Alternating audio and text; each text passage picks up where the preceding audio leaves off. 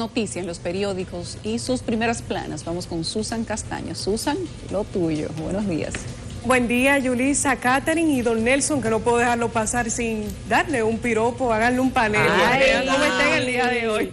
Oye, es cierto, es cierto. cosa? ¿Dónde que estoy? Aquí en el medio. Sí. el, el, hombre se tiró el closet, es verdad. Susan. Pero eso, eso no es factura mía, eso es factura de ellas dos. Me dijeron sí. Lo esa competencia. Y fui a, fui, a, fui a comprobar donde Susan y me dijo un beso para ti. Ay, que tenemos que mantenerlo lindo, Susan. Me encanta. vamos, vamos a periódico, Susan. Conozcamos de inmediato qué dicen las portadas de este viernes 15 de enero. Como de costumbre, iniciamos con el diario de casa, El Caribe, que titula en su primera página, Abinader arriba cinco meses de gestión bajo creciente presión, y es que en días recientes la ciudadanía se queja de las restricciones por la pandemia y ha respondido con cacerolazos mientras que las iglesias lo enfrentan por su posición sobre el aborto y las tres causales.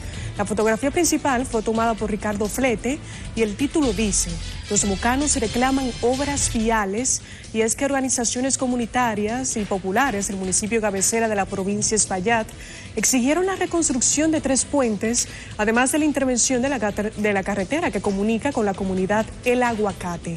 Una segunda gráfica se encuentra en la esquina inferior derecha y muestra la reunión del Consejo Nacional de la Magistratura que inició ya la evaluación de los postulantes al Tribunal Constitucional. En la esquina izquierda reseña sobre los materiales de construcción y la subida de precios que han experimentado en los últimos días.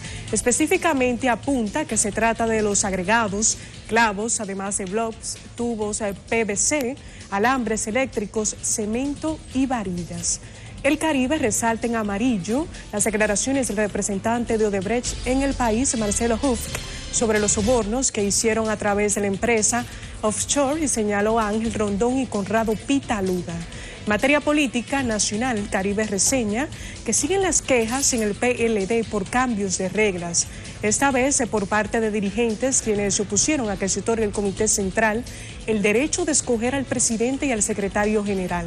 Acerca de la situación en Estados Unidos, este diario de casa habla sobre el impeachment que busca finiquitear a Donald Trump y es que los congresistas demócratas quieren bloquear sus ambiciosas políticas para el año 2024 y prevén una, una presión mediática como expresidente. Hacemos ahora la portada del Diario Libre que destaca en su titular principal, los abogados cobrarán comisión si recuperan patrimonio sustraído. Y es que de acuerdo a la ley 302-64 sobre honorarios de los abogados, estos podrían recibir hasta el 30% de lo recuperado, mientras que juristas consultados calificaron de excelente la iniciativa por parte del Poder Ejecutivo. La fotografía principal corresponde a una reunión del Consejo Nacional de la Magistratura y la titula de la siguiente manera. El derecho a mentir llama la atención en el Consejo Nacional de la Magistratura. En torno a esta reunión que se produjo en el día de ayer jueves, hubo un pequeño debate filosófico-jurídico en el que se discutió sobre el derecho a mentir o no que tiene un imputado a la luz de la Constitución. En la parte derecha, este impreso nos habla sobre una jornada realizada en el día de ayer, sorpresa en el caso de Brecht, con respecto a Marcelo Huff, quien reconoció ante el primer tribunal colegiado del Distrito Nacional que cuando fue interrogado por la Procuraduría en enero del año 2017, identificó a Ángel Rondón como el representante comercial de la brasileña. Justo al lado, Diario Libre nos dice sobre una nueva emisión de bonos por 2.500 millones de dólares que eleva la deuda del gobierno. Más abajo trae la advertencia de la OPS que dice que en este 2021 será peor con la COVID-19 si relajamos las medidas. Pasemos rápidamente a la portada del nuevo diario que destaca en su titular el gobierno emite 2.500 millones de dólares en bonos soberanos. La fotografía principal corresponde a un encuentro virtual que patrocinó este medio de comunicación y el título dice, debaten sobre la importancia del pacto eléctrico.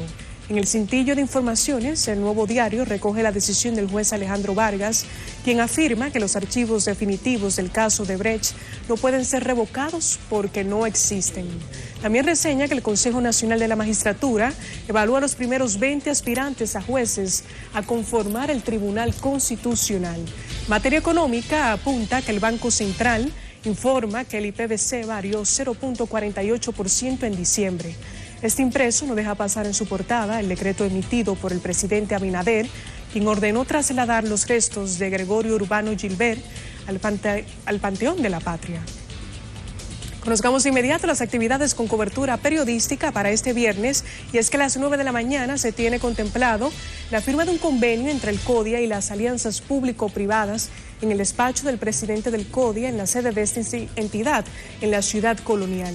Para las 10, el presidente Luis Abinader entregará el Premio Nacional a la Calidad del Sector Público en el Salón Las Cariástides del Palacio Nacional. Más tarde, tipo 2.30, la entrega de un local y equipos que pertenecían a Procomunidad en el Salón de Conferencias en la Avenida México en las oficinas gubernamentales. Para las 7 de la noche, la continuación de la serie final del Alidón, que se enfrentan los equipos Gigante y las Águilas en el Estadio Cibao de Santiago. Así yo finalizo este recorrido por las principales portadas de los diarios de circulación nacional. Retorno con ustedes. Feliz viernes. Gracias, Susan. Feliz viernes para ti y feliz fin de semana.